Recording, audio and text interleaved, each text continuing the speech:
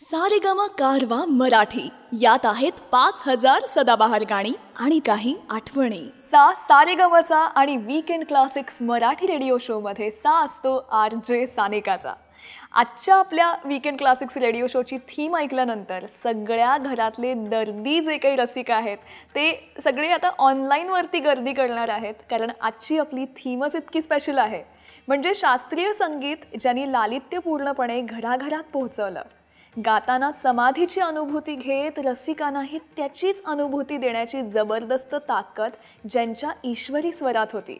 आणि अखेरपर्यंत संगीत हाच ज्यांचा श्वास आणि ध्यास होता त्या म्हणजे किशोरीताई आमोणकर. ज्याप्रमाणे एखादा चित्रकार व्हाईट कॅनव्हासवरती चित्र रेखाटतो अक्षरशः तशाच किशोरीताई स्वरांच्या कॅनव्हासवर एखादा राग रेखाटायच्या. आणि म्हणूनच त्यांना गाणं सरस्वती म्हणलं जातं. त्यांच्या बाबतीत बरंच काही वाचताना त्यांच्याविषयीचा एक लेख माझ्या वाचनात आला.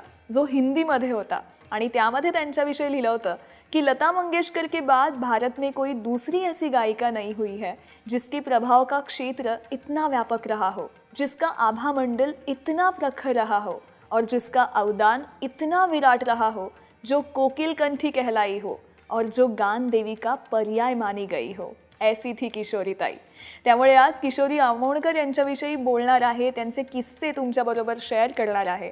पण सगळ्यात आधी किशोरीताईंचं गाणं ज्यांनी आपण सुरुवात करणार आहोत. माझे माहेर पंढरी. संत एकनाथांचा हा अभंग आहे. चला तेव्हा किशोरीताईंच्या स्वरांमध्ये चिंब भिजायला तयार व्हा.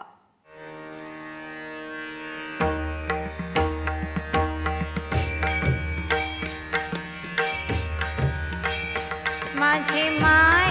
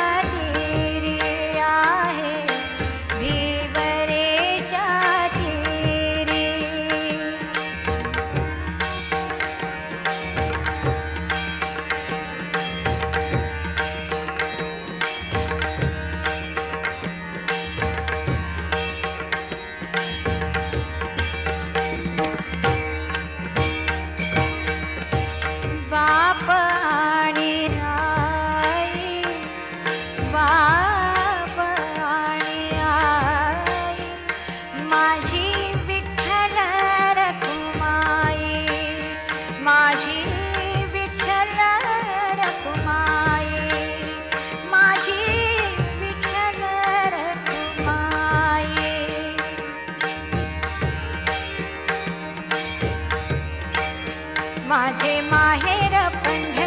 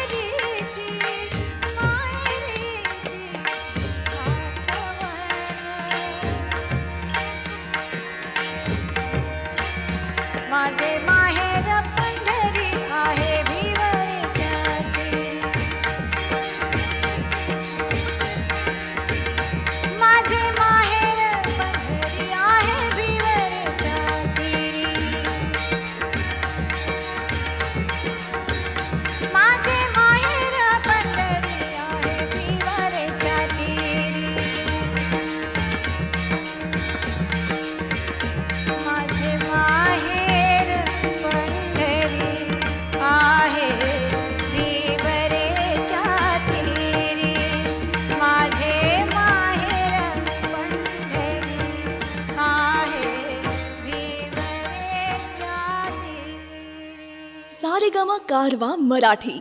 यात आहेत पाच हजार सदाबहार गाणी आणि काही आठवणी.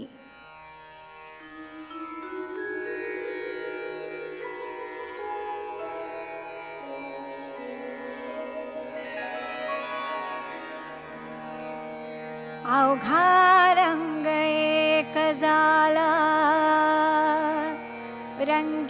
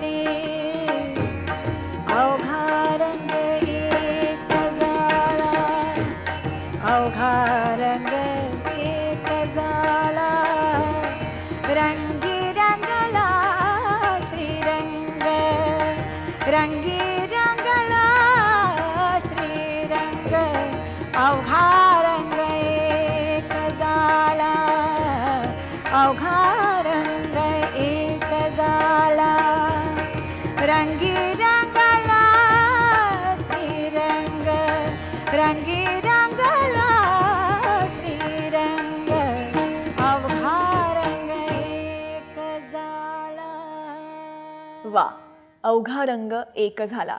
किशोरीताईंच्या आवाजातला हा एक अप्रतिम अभंग. त्यांनी गायलेली सगळीच गाणी इतकी सुंदर आहेत मोहक आहेत. म्हणजे त्यांच्या गाण्यात सकसता आहे अस्सलपण आहे भावसौंदर्य आहे बुद्धिचातुर्य आहे सारं काही आहे. त्यांच्या आवाजाचं टेक्स्चर किंवा त्यांनी गायलेली गाणी याचं हेच सामर्थ्य मला वाटतं की काळाच्या ओघात वाहून न जाणारा त्यांचा स्वर आहे. तकलादू क्षणभंगूर नौटंकीपेक्षा वादळ वाऱ्यात सुद्धा जो भक्कमपणे उभा राहील जो काहीतरी योग्य दिशा दाखवेल असा दीपस्तंभासारखा त्यांचा आवाज आहे असं मला वाटतं. किशोरीताईंचा जन्म दहा एप्रिल एकोणीसशे एकतीसचा. मुंबईतलाच.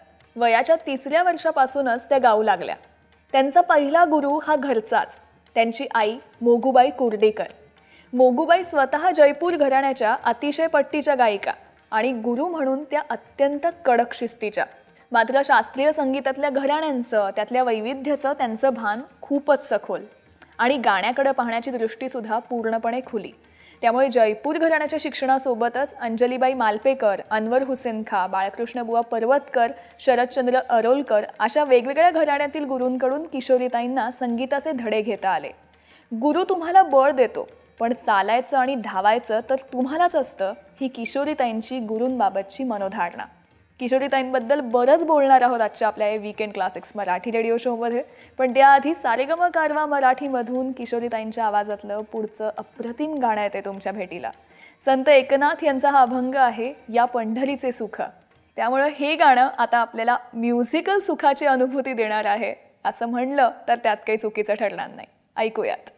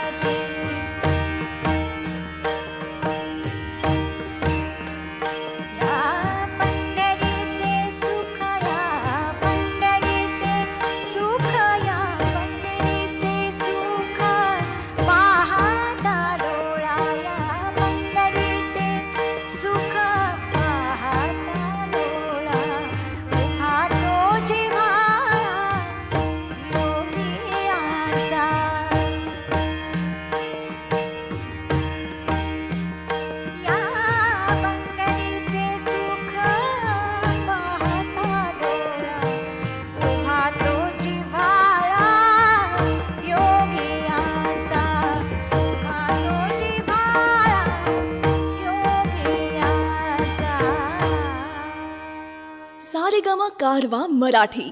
यात आहेत पाच हजार सदाबहार गाणी आणि काही आठवणी.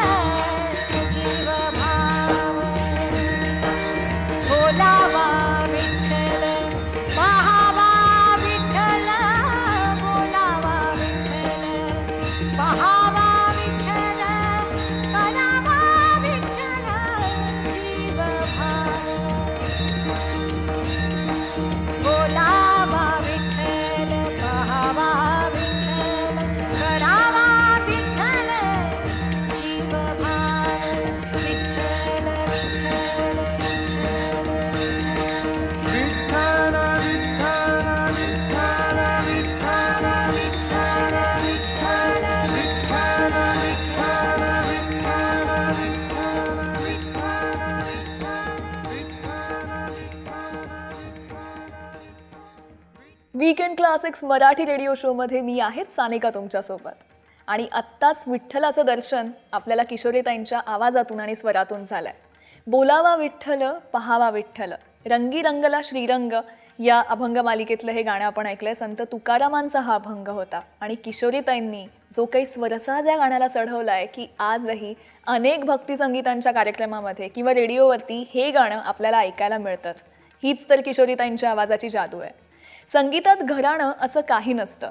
असतं ते निव्वळ संगीत. वेगवेगळ्या घराण्यात त्याची विभागणी करणं म्हणजे संगीताची जणू जातीत विभागणी करण्यासारखं आहे. असं किशोरीताईंनी सखोल विचारानंतर तयार केलेलं त्यांचं मत होतं.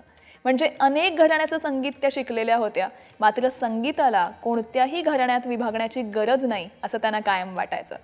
आयुष्यभर किशोरीताईंच्या तनामनात फक्त सूर सूर आणि सूरच होते. गाताना समाधीची अनुभूती घेत रसिकांनाही त्याचीच अनुभूती देण्याची जबरदस्त ताकद त्यांच्या ईश्वरी स्वरात होती. आणि म्हणूनच खऱ्या अर्थानं संगीत हाच श्वास आणि ध्यास त्यांच्यासाठी होता. आयुष्याची महफिल किशोरीताई अचानक सोडून गेल्या असल्या तरी त्यांच्या गाजलेल्या अनेक महफिलींच्या आठवणी आजही आपल्या मनात जाग्या आहेत. पद्मभूषण पद्मविभूषणसारखे असंख्य पुरस्कार त्यांना मिळाले असले तरी रसिकांनी दिलेली क्या बात है! ही मनापासून दिलेली दाद त्यांच्या दृष्टीने सर्वोच्च पुरस्कार होता. आणि त्यांचं कुठलंही गाणं ऐकल्यानंतर ही दाद आपसुकच दिली जाते नाही का? सारेगम कारवा मराठीमधून पुढचं गाणं येतंय तुमच्या भेटीला अवघातो शकून. आज किशोरीताईंची गाणी आपण ऐकतोय म्हणजे शकुनाचा दिवसच म्हणावा लागेल नाही का? संत सोयराबाई यांचा हा अभंग आहे आणि किशोरी आमोणकर यांनी या गाण्याला स्वरसाद चढवलाय. ऐकूयात.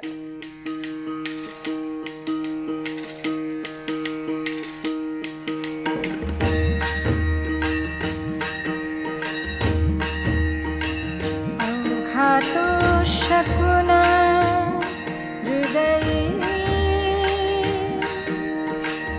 दिवाचे किञ्चघातु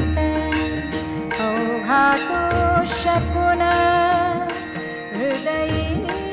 दिवाचे किञ्चि घातु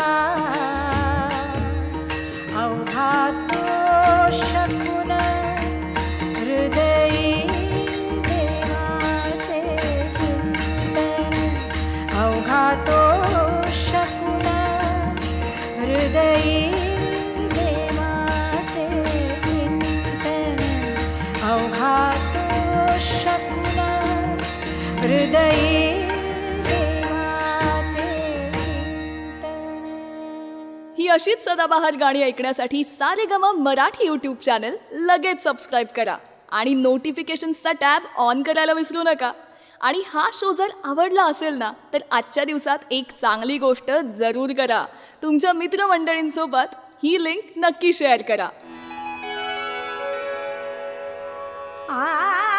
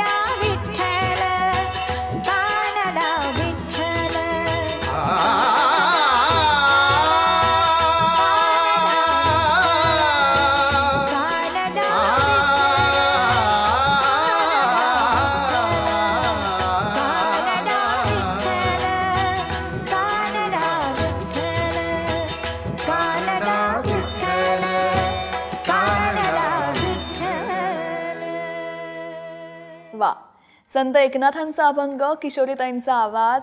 झालं ना? साक्षात विठ्ठलाचं दर्शन केवळ या सुरातून आणि स्वरातून.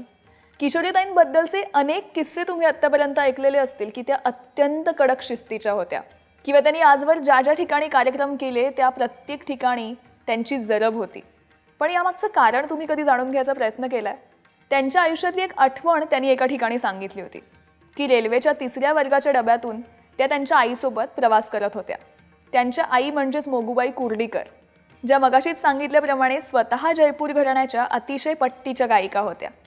आणि किशोरी त्यांच्या आयुष्यातला पहिला गुरु म्हणजे त्यांची आई. आईसोबतच्या कार्यक्रमासाठी किशोरीताई निघाल्या होत्या. खूप प्रवास करून कुठल्या तरी गावात त्या पोहोचल्या जिकडे माईंचा कार्यक्रम होता. त्यांच्या राहण्याची व्यवस्था हॉटेलात किंवा गेस्ट हाऊसमध्ये नव्हती तर कोणाच्या तरी घरी केली होती. या कार्यक्रमाच्या ठिकाणी त्यांच्या आईंना म्हणजेच माईंना चांगली वागणूक मिळत नव्हती. कार्यक्रमाचं मानधन सुद्धा अत्यंत कमी. या वाईट परिस्थितीत सुद्धा माई उत्तम गायली. कारण शेवटी माईला पोटच्या तीन पोरांना सांभाळायचं होतं आणि वाढवायचं होतं. याच वेळी किशोरीताईंनी स्वतःच्या मनाशी पक्की खूणगाठ बांधली की मी गायिका झाल्यानंतर स्वतःचा मानमरातब व्यवस्थित राहील याची काळजी घेईन. कार्यक्रमासाठी कुठे गेले तर उत्तम हॉटेलातच वास्तव्य करेन आणि मुख्य म्हणजे कार्यक्रमाचं मानधन हे चांगलंच घेईन. माईला ज्या ज्या तडजोडी कराव्या लागल्या त्या आयुष्यात मी कधीही करणार नाही. हे किशोरी आमोणकरांनी त्यावेळेला पक्क ठरवलं. आणि अशा तडजोडी किशोरीताईंनी कधी केल्यासुद्धा नाहीत. आणि म्हणूनच किशोरीताईंच्या गाण्याबरोबर त्यांच्या स्वभावाची आणि व्यक्तिमत्वाची चर्चा व्हायची. पण त्याला तसं कारण होतं. चला किशोरीताईंच्या आवाजातला पुढचा अभंग. संत जनाबाई यांची अभंग रचना आहे आणि गाणं आहे जनी जाय पाणी यासी. ऐकूयात.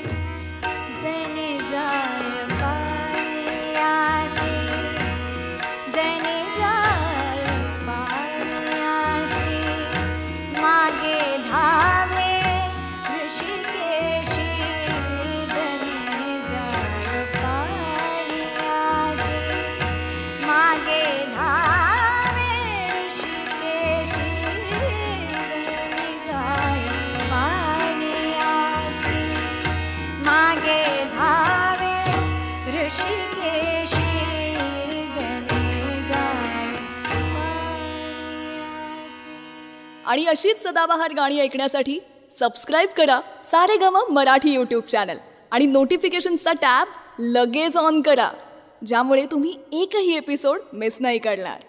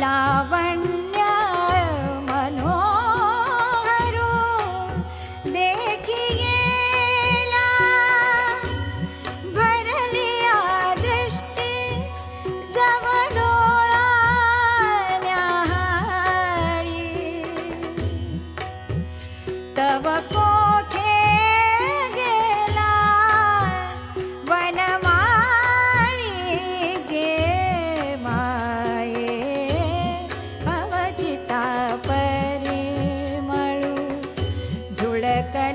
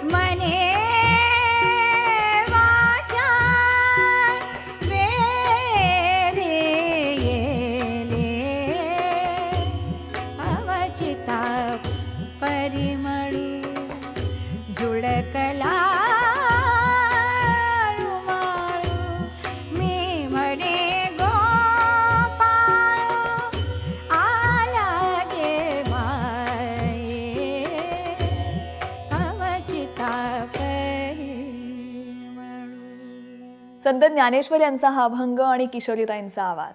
अवचिता परिमळू. सारेगम कारवा मराठीमधून हे गाणं आपण आत्ताच ऐकलं.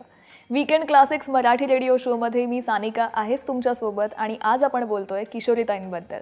बघाशीच सांगितल्याप्रमाणे किशोरीताईंच्या गाण्याबरोबरच त्यांच्या स्वभावाची सुद्धा खूप चर्चा व्हायची. अनेक किस्से ठिकठिकाणी ऐकायला मिळायचे. की समोरच्या प्रेक्षकांचं वर्तन आवडलं नाही म्हणून त्या कशा गायला नकार देतात? किंवा प्रेक्षकांमध्ये फारुख अब्दुल्लासारखा बडा माणूस असतानाही त्या गायला नकार देऊ शकतात. कार्यक्रमाच्या वेळी करण्यात आलेली साऊंड सिस्टीम जर का योग्य नसेल तर त्या अक्षरशः संतापायच्या. एका बड्या उद्योजकाच्या पत्नीनं मैफली दरम्यान विडा देऊ केल्यानंतर मी काय तुम्हाला कोठेवाली वाटले का? असं म्हणत त्यांचं फटकारणं किंवा गाण्याआधी ग्रीन रूममध्ये त्या कोणालाही कशा येऊ देत नसत वगैरे वगैरे. पण या सगळ्यांमधून दिसून येते ती त्यांची कलाकार म्हणून असणारी ठाम भूमिका. किशोरीताईंनी कधीही कोणत्याही बाबतीत तडजोडी केल्या नाहीत. आणि त्यांचं हे व्यक्तिमत्व आणि हा सच्चेपणा त्यांच्या गाण्यातून आपल्याला जाणवतो.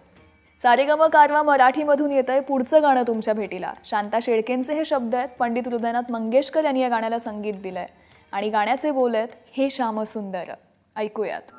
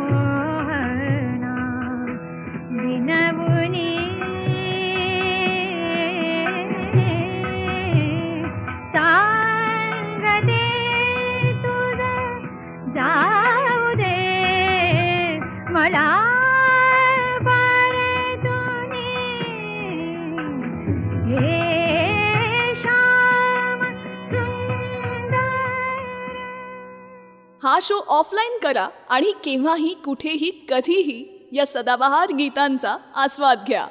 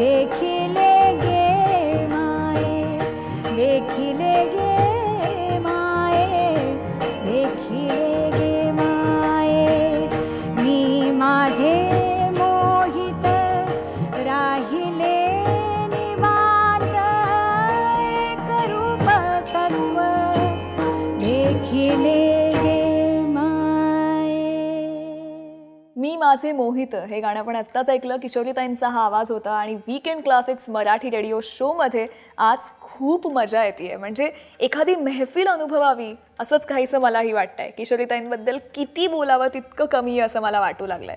कारण किशोरीताईंचं गाणं हे दरवेळेला ऐकताना हिमालयासारखं वाटू लागतं. म्हणजे जितकं हिमालय लांबून आपल्याला आकर्षक वाटतो तितकाच तो जवळ गेल्यावर अवघड आणि अवाढव्य दिसू लागतो.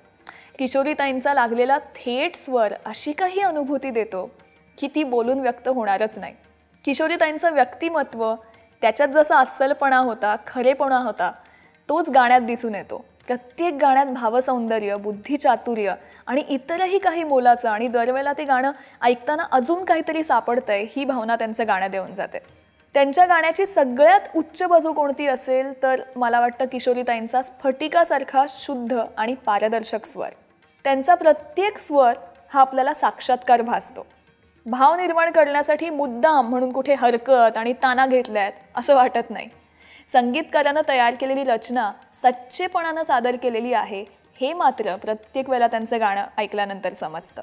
घेऊन येते किशोरीताईंचंच पुढचं गाणं. शांता शेळके यांचे शब्द आहेत हृदयनाथ मंगेशकर यांचं संगीत आहे आणि किशोरीताईंनी गायलेल्या अनेक लोकप्रिय गीतातलं असं हे गाणं.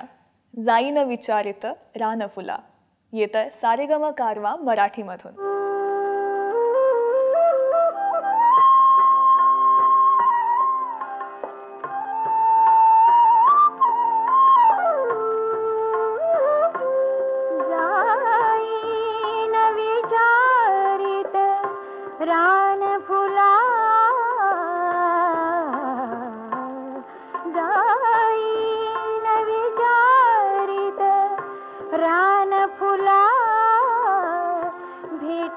तिथे ग सजन मला जाईन विचारित. रान फुला भेटेल तिथे ग.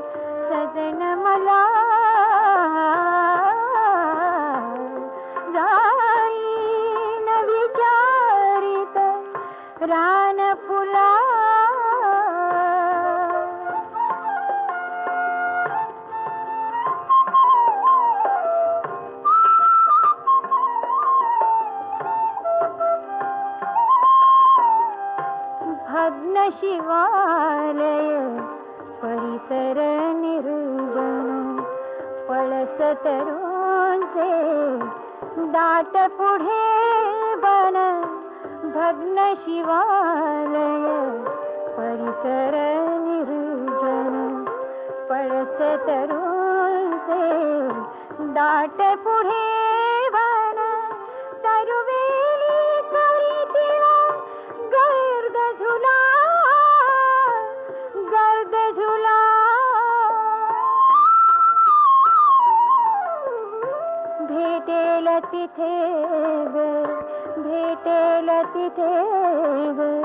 भेटेल तिथे ग सजन मला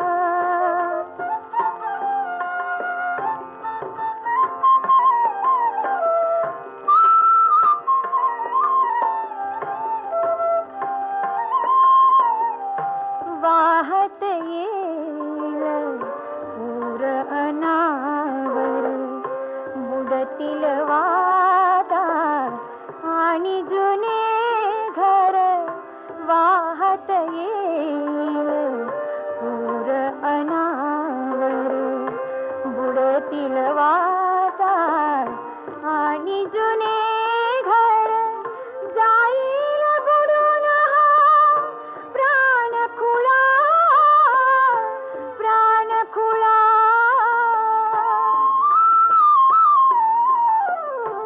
भेटेल तिथे ग भेटेल तिथे ग भेटेल तिथे ग।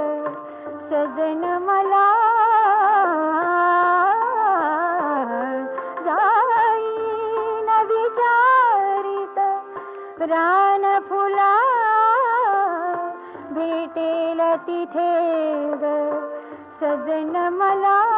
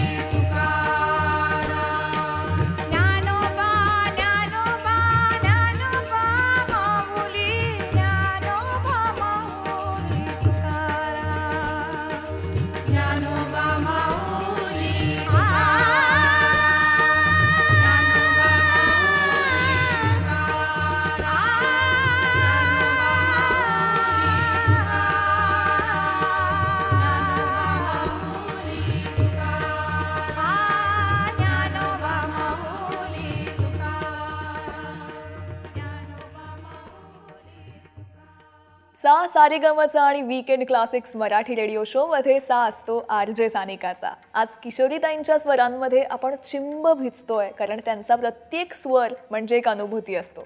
किशोरी आमोणकर यांनी एकोणीसशे चौसष्ट साली गीत गाया पत्थरोने या हिंदी सिनेमातून पार्श्वगायन केलं. मात्र हिंदी इंडस्ट्रीचा अत्यंत विदारक अनुभव घेतल्यामुळं त्यांनी या पार्श्वगायनाला पूर्णविराम दिला आणि केवळ शास्त्रीय संगीताच्याच मार्गावरून जाणं पसंत केलं. जयपूर घराण्याच्या सीमा तोडून त्यांनी गायकीमध्ये ठुमरी ख्याल भजन गायनात संशोधन करून अनेक नवे बदल केले. ते रसिकांना अत्यंत आवडले पण जयपूर घराण्याच्या काही गायकांनी त्यांच्यावर याबद्दल टीकाही केली. पण त्या आपल्या मतांवर नेहमीप्रमाणेच ठाम होत्या. शास्त्रीय संगीत म्हणजे काहीतरी अवघड असा माइंडसेट असणाऱ्या घरांमध्ये सुद्धा किशोरीताईंनी क्लासिकल म्युझिक अत्यंत सहजपणे पोहोचवलं. गाना सरस्वती किशोरीताई या दिग्गज व्यक्तिमत्व कशा होत्या याचे बरेच किस्से मी तुम्हाला सांगितले. पण त्यांच्या घराण्यात पारंपरिक तालीम नसतानाही त्यांनी स्वतःची एक वेगळी ओळख निर्माण केली. मला वाटतं की त्या स्वतःच्या सिद्धांतावर कायम ठाम राहिल्या. हे यामागचं कारण असेल. त्यांनी कधीही कशाचीही तडजोड केली नाही. त्यांची अंतरशक्ती अत्यंत आध्यात्मिक होती आणि या सगळ्या एकत्रित प्रयत्नातून त्यांनी एक वेगळी वाट निर्माण केली. तरुण पिढीलाही त्यांनी प्रभावित केलं. त्यांची गाणी आपण सगळ्यांनीच ऐकली आहेत पण त्यांची जी कला साधना तपस्या निष्ठा होती हे सारं काही लक्षात ठेवण्यासारखं आहे. त्यातून जी एक स्वरानुभूती होते ती त्यांनी आपल्या सगळ्यांना प्रदान केली आहे. आणि म्हणूनच त्यांचा स्वर हा खऱ्या अर्थानं आपल्यासाठी सोयरा सुखाचा असाच म्हणावा लागेल. ऐकूयात संत नामदेवांचा हाच अभंग जो गायलाय किशोरीताईंनी.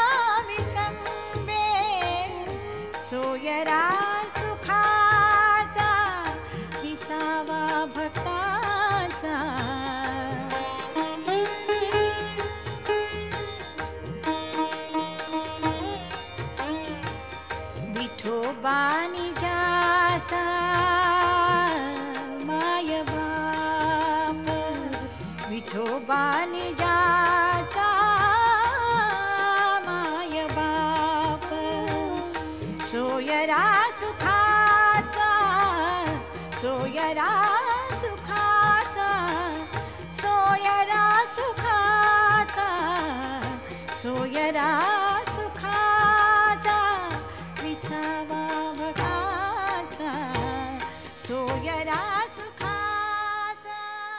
सा सारेगमचा आणि weekend classics Marathi radio show मध्ये सा असतो आर जे सानिकाचा. मी सुरुवातीला म्हणलं तसं आज अनेक दर्दी प्रेक्षकांनी ऑनलाईन गर्दी केलेली असणार आहे. ती म्हणजे किशोरीताईंची गाणी ऐकण्यासाठी. आज आपण किशोरीताईंच्या स्वरामध्ये चिंब भिजतोय आणि त्यांची सांगीतिक कारकीर्द जाणून घेतोय. मगाशीच मी बोलले ते किशोरीताईंच्या स्वभावाबद्दल की गाण्याबरोबरीनच त्यांच्या स्वभावाची खूप चर्चा व्हायची आणि अनेक किस्से ऐकवले जायचे.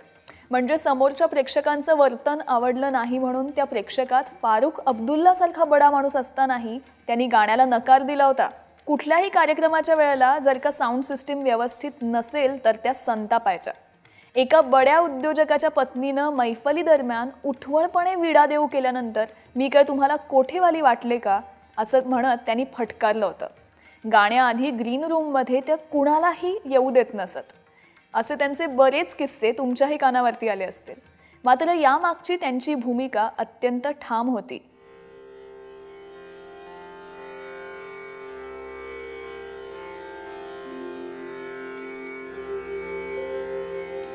जाणे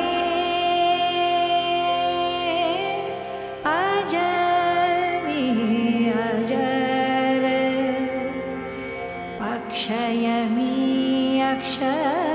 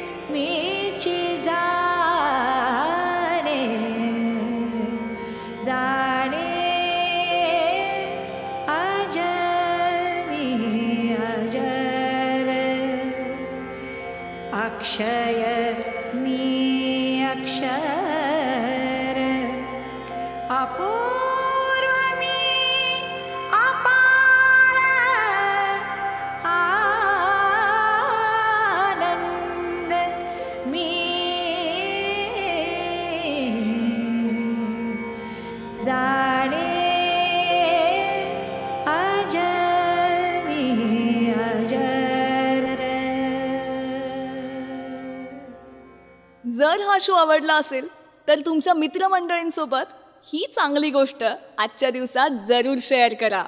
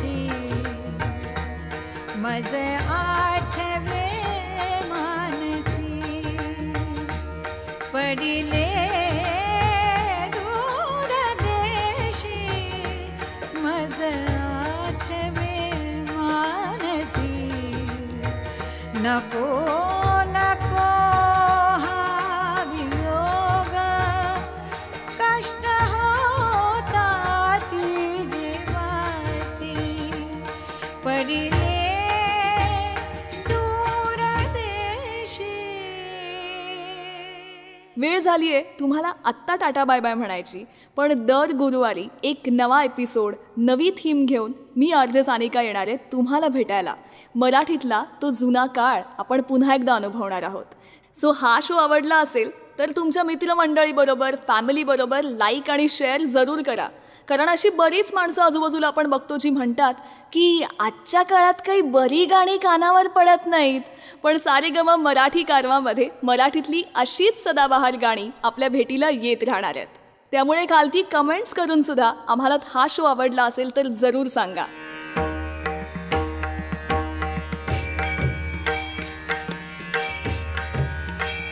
माझे मा